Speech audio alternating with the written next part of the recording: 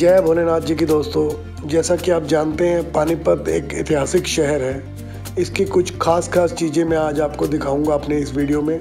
बने रहिए मेरे साथ लास्ट तक। आइए सबसे पहले लेके चलता हूँ आपको पानीपत के म्यूज़ियम में। यहाँ पानीपत की तीसरी लड़ाई जो मुग़ल और मराठों के बीच में लड़ी गई थी, उस लड़ाई के काफ़ी अवशेष यहाँ रखे हुए हैं। वहाँ उस ज़माने में जो हथियार ये इस्तेमाल करते थे या इनकी जो लड़ाई की, जंग की जो वर्दी होती थी, जो चेन लोहे की बनी हुई है, काफ़ी सपोर्ट मिलती थी इससे। तो ये सब वहाँ पे सजाया हुआ है। लीजिए, हम पहुँच गए हैं म्यूज़ियम में।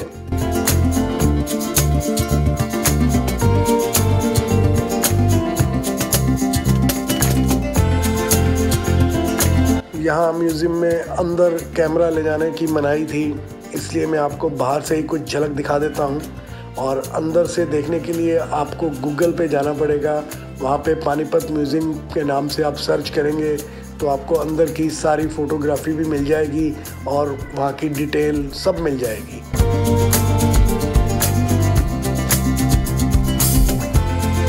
ये देखिए मुग़ल और मराठा सैनिकों के स्टैचूज़ बनाए हुए हैं यहाँ पे।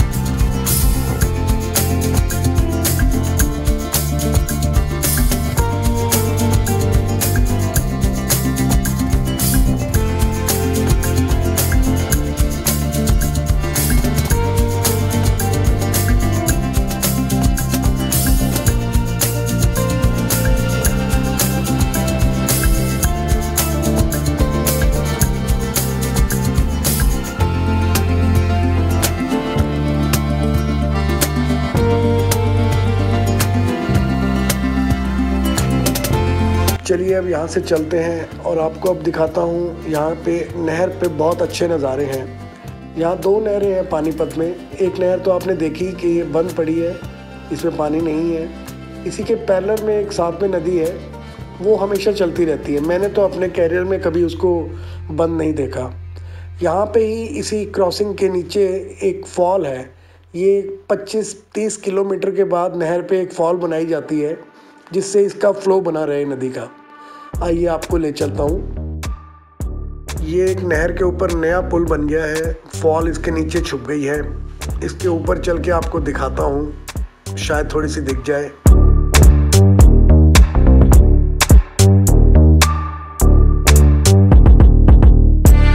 ये देखिए फ्लो कितना तेज हो जाता है एकदम यहाँ पे नहर का।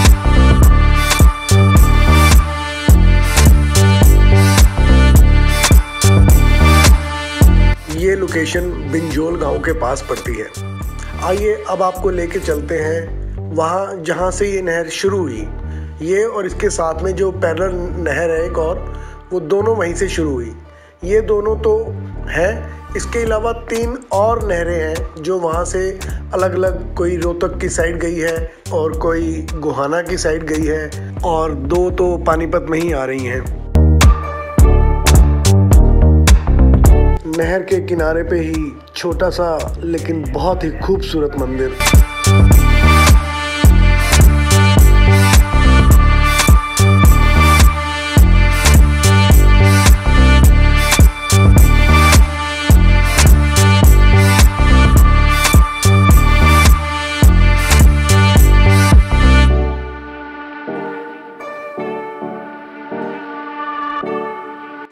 तक जाने के लिए हमें नहर के साथ साथ ही चलना पड़ेगा। देखिए, क्या नज़ारे दिखेंगे आपको? एंजॉय कीजिए।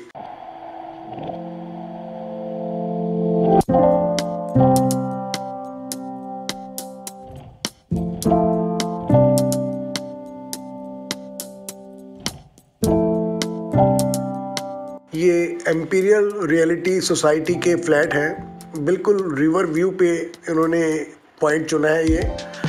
बड़ा मज़ा है यहाँ रहने का। लोग बाहर से दूर दूर से यहाँ पे आके उन्होंने फ्लैट लिए हैं, रिवर व्यू के कारण। बहुत अच्छी लोकेशन है ये।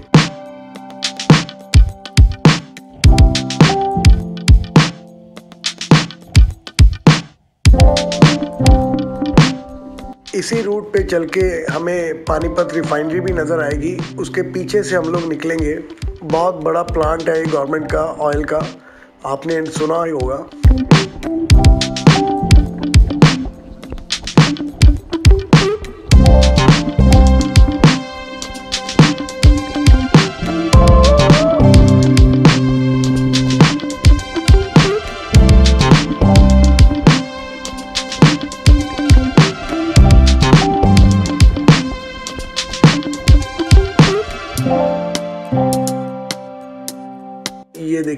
चिमनियाँ दिख रही होंगी, किसी में से धुआँ, किसी में आग की लपटे।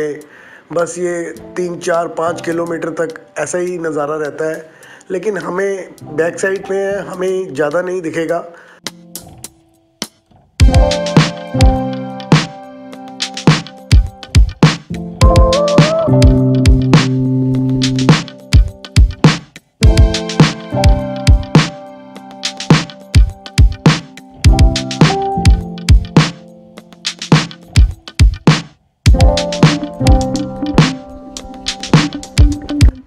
मैं इसकी दीवार के साथ साथ जाके आपको दिखाता हूँ। इनकी हाई सिक्योरिटी रहती है। मैं यहाँ पे चल भी नहीं सकता। बस थोड़ा सा जाके मुझे वापस जाना पड़ेगा। भाई गवर्नमेंट की जगह है।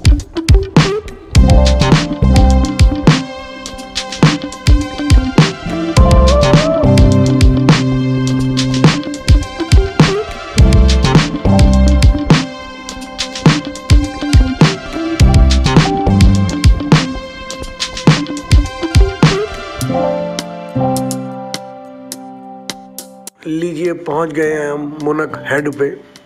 ये देखिए, ये वही नदी है जो पानीपत में मैंने जो आपको फॉल दिखाई थी पीछे, ये वही नदी है, यहाँ से ये शुरू हो रही है।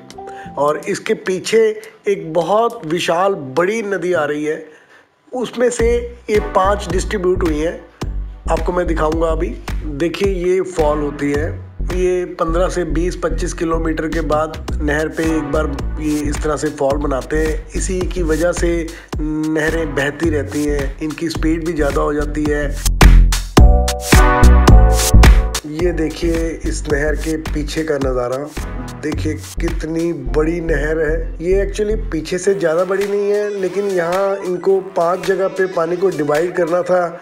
इसलिए इन्होंने एक एरिया बड़ा झील के जैसा लेक के जैसा बनाया हुआ। ये देखिए, ये पहली नहर वहाँ, वो सामने से निकली है। और ये दूसरी है। और छत से देखिए आप, छत से देखिए, छत से ये दूसरी है और वो तीसरी है। और उसके पीछे चौथी भी नज़र आ रही है। मैं आपको अभी रनिंग व्यू दिखाऊँगा इन सब का।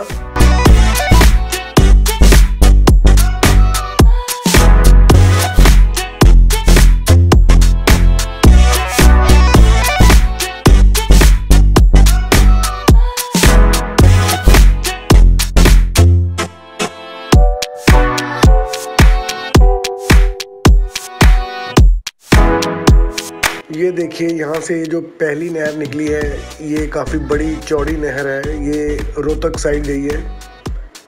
और इसके बाद एक, अभी देखेंगे हम। ये दूसरी नहर है, इसका साइज़ थोड़ा छोटा है। ये पास में ही है 30-35 किलोमीटर यहाँ से गुआना, वहाँ के लिए है। और ये वही नदी जो पानीपत जा रही है, जिसमें पानी था, ये वो है।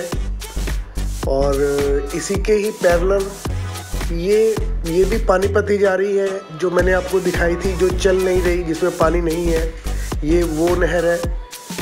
और इसके बाद एक और भी आएगी यहाँ पे, ये देखिए, ये भी एक, ये भी एक छोटी सी नहर है, इसमें थोड़ा पानी चल रहा है, फुल नहीं चल रही है। आइए अब इधर मुड़ते हैं, पीछे चलते हैं, जहाँ से ये पाँचों डिवाइड हुई। यहाँ से इनका शायद अच्छा व्यू दिखेगा। लेकिन एकदम इकट्ठा पानी होने की वजह से यहाँ पानी में से धुआँ बहुत निकल रहा है। देखिए विजिबिलिटी इतनी क्लियर नहीं है। फिर भी जितना दिख सकता है, मैं आपको दिखा रहा हूँ। ये देखिए, पूरी छतों से आप देख सकते हैं। एक, दो, तीन, चार और एक, वो पाँच पीछे, दूर सामने मेरे, बिल्कुल।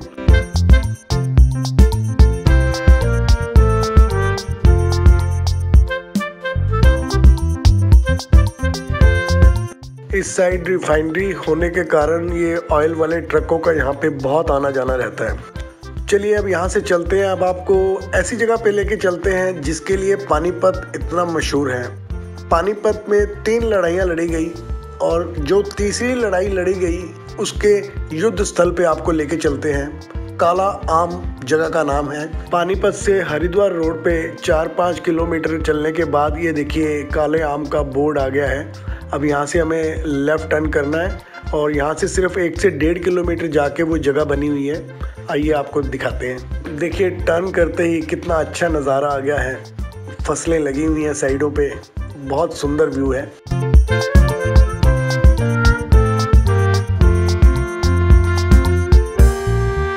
लीजिए, पहुँच गए हम कालाम उस युद्ध स्थल पे जहाँ पानीपत की तीसरी लड़ाई लड़ी गई, मुगल और मराठा।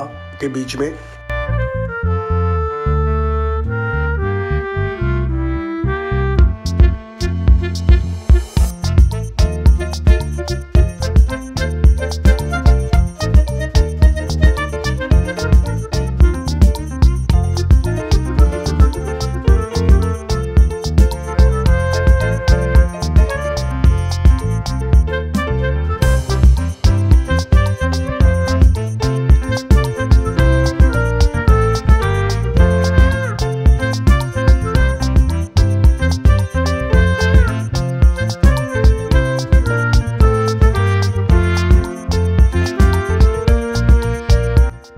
बड़ा गार्डन है यहाँ पे और फुली मेंटेन किया हुआ है।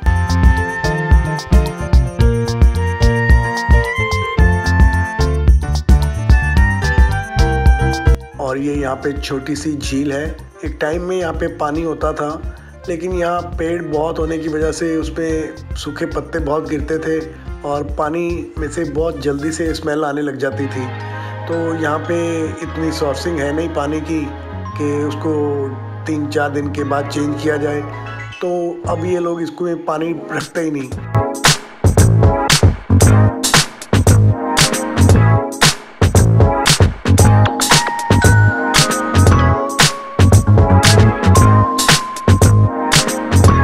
छुट्टी वाले दिन यहाँ बहुत सी फैमिलीज़ आती हैं पिकनिक मनाने अपने बच्चों के साथ। दो तीन घंटे आराम से पास हो जाते हैं उनके। और उनको भी कुछ बताया जाता है बच्चों को इस जगह के बारे में।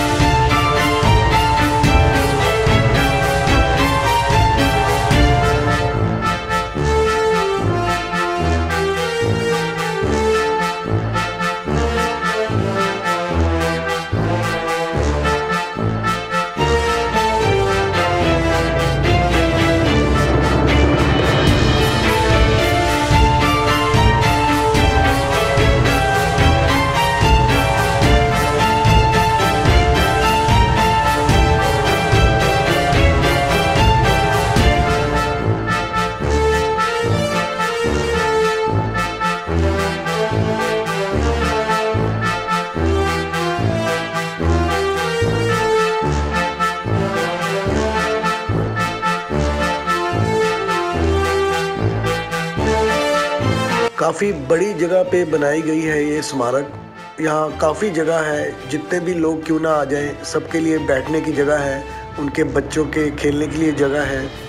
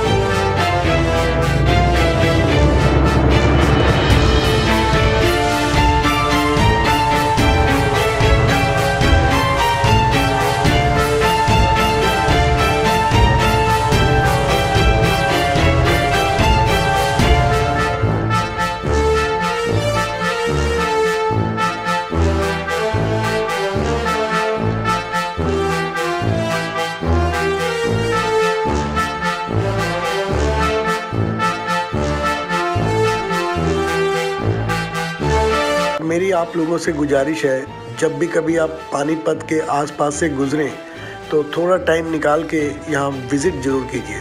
आपका दिल बहुत खुश होगा। तो मैं चलता हूँ, मिलूँगा आपको अपने अगले वीडियो में। जय भोलेनाथ जी की।